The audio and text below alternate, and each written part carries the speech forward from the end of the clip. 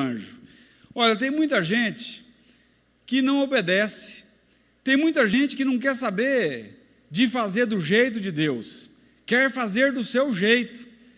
E por fazer do seu jeito, sinto muito lhe dizer, se você é uma dessas pessoas, vive uma vida miserável, espiritualmente falando, porque quer tão somente que o seu querer seja feito, quando na verdade eu e você precisamos nos submeter em obediência ao Senhor, em obediência a Deus, em obediência à palavra de Deus.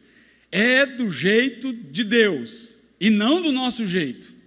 Ou nós nos submetamos a Deus, ou nós pereceremos.